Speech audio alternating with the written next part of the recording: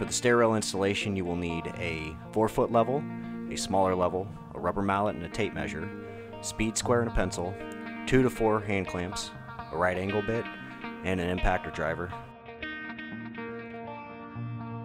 Beginning on our stair installation, we need to figure out where exactly we can set our bottom post. So what we're going to do is we're going to find the edge of our step here. So hold it flat up against the side of your stairs, make a mark on your top deck here, and then measure back where your top post sits from that mark. All right, we are 7 eighths of an inch back from the edge of the steps, so we need to copy that down on the bottom step to make sure that our top and bottom post for our stairs are going to be straight on at each other. On the bottom step, we're going to come down and we're going to mark our 7 eighths of an inch.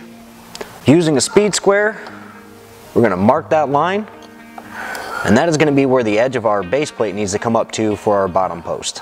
Taking our 45 inch welded post for the bottom of our step, we're going to set up against that line there and we're not going to attach this just quite yet. We have to double check make sure the spacing on our rail is going to work for this in between post to post. There might be some slight adjustment this way or that way, but we at least know this is the line we want to have it on. Taking our bottom rail, go ahead and set it up against your posts Trying to find a spacing at first that looks like it might be all right, and then we'll double check that here in a moment.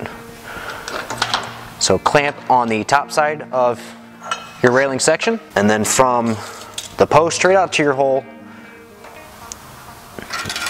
go ahead and measure that. You want it to be anywhere between two and a half and nothing over four inches. So measure it at the top, which we're looking three and three quarter there, and then repeat the same thing down here. So we're actually three and three quarter there. So we're evenly spaced in between from the post to the very start of the hole. So you should have two top brackets, two bottom brackets, and four of our stair post mounts. So for the top side of the section, you want to make sure that you have the stair post mount going off the top of the bracket. And then for the bottom side of the section, the stair post mount should be in the opposite direction. Now that we have our brackets assembled, we're going to come back to our railing section and we're going to place our bottom brackets with the post mount flush up against our post and our bracket flush with our bottom rail. So we're gonna come here and we're gonna mark it back to where it's about an inch inside of the bracket. And we're gonna mark our rail here. And then we're gonna mark the top side of our rail with the T so we know this is actually the top section. We're gonna repeat the same step down here. Post mount flush up against the post. Top bracket or top of the bracket flush with the rail. Come back about an inch where it would be into the bracket and then mark this with our bottom. Now that we have our bottom rail marked where we're going to need to cut it, before we remove it, now that we know the spacing is going to work for our bottom post, we're going to go ahead and trace on our deck where that is going to be placed. And then we're going to take our tape measure and we're going to measure from the bottom of the bottom rail up 38 inches on our post here. And this is going to be a cut line And what this cut line is going to do is at the top of the section, it's going to be two inches above the top of the rail. And what we want to do is mirror that on the bottom. We want to cut our bottom rail, so we want to try to match it up here. So our top of our section, the rail is going to come about two inches below the top of our post. So down here, the post comes out of 45. These are meant to be cut down to whatever height you need. So now that we have that marked and our rail marked, we can go ahead and trace it onto our top rail and then we can cut them. Now that we have our bottom rail marked, we're gonna lay it down next to our top rail, and we're gonna use our speed square here, and we're gonna line up the edge of our slotted holes. Once, once we're lined up there, bring our speed square over where our cut line is for, on our bottom rail, and we'll trace that onto our top rail, and we'll move our marks over so we know which side was at the top and which side was at the bottom.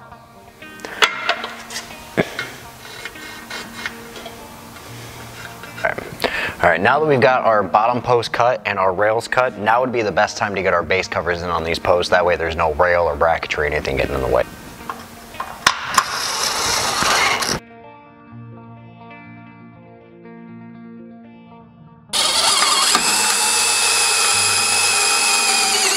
Now that our posts are ready to go, we're gonna take our top and bottom rail, we'll lay them down on the side, and we're using some cardboard just from some of the kits that came in, just to make sure we're protecting that top rail. Go ahead and get it in on a table or a deck, clamp it into place, and then we'll match up our top and bottom part of the section on our rails that we marked here. And then we'll put in our 33 inch balusters, snug all the way into the top rail. And then we will take our bottom rail and from one side, get those into the slotted stair holes. Then make sure that's seated all the way down. So now we got our stair uh, racked, we're gonna get our brackets on, we're gonna clamp to the post and get it ready to mount. And at this time we can go ahead and peel off that protective film on the top rail. And then we're gonna go ahead and slip our brackets on. So again, with the top brackets, the stair post mount should be in the up position. And we'll go ahead and slide that in between our post here. Might have to do a little bit of racking to make sure it fits. All right, now we're in between our posts. We're gonna get it up to height. And then we'll go ahead and throw a clamp in on our top stair post mount. When you're clamping them in, the easiest way is to get it on the clamp or get it on the post mount and just try to cover up one hole. So once they're in place, you still have a way of getting to that screw hole and attaching it to the post.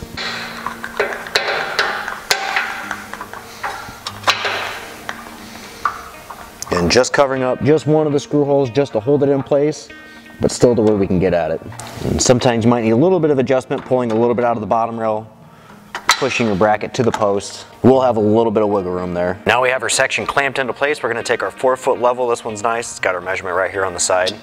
Um, from the nose of the step, try to take two steps, one at the very bottom, one at the very top of the section. And we wanna get our level right there. And what we're trying to do is get up to 36 inches, which is what most residential code is gonna be. So right there, we're right at 36 inches and we're gonna go up to the furthest most step that we can. Same process, go from the nose of the step, and we're actually right at 36 there, so we're good to go ahead and attach this. All right, so right before we attach our brackets, we wanna make sure that we're centered here. So from our stair post mount over, we wanna be about 15 16ths or one inch. So right there, we're right at 15 16ths, so this stair post mount is centered on that post. So we will take our drill and our inch and a quarter painted screw and our right angle driver. We will repeat that on all four of our post mounts, get them set in place.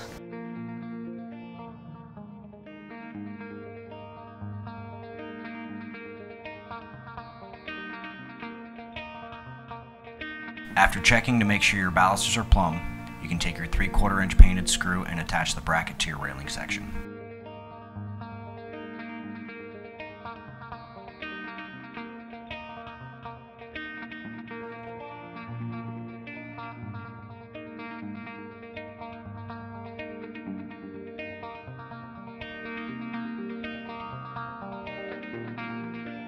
When installing the bracket to the bottom rail on the top part of the section, uh, a lot of the time you're not able to reach the bottom part, so go ahead and attach it on the outside of the railing section.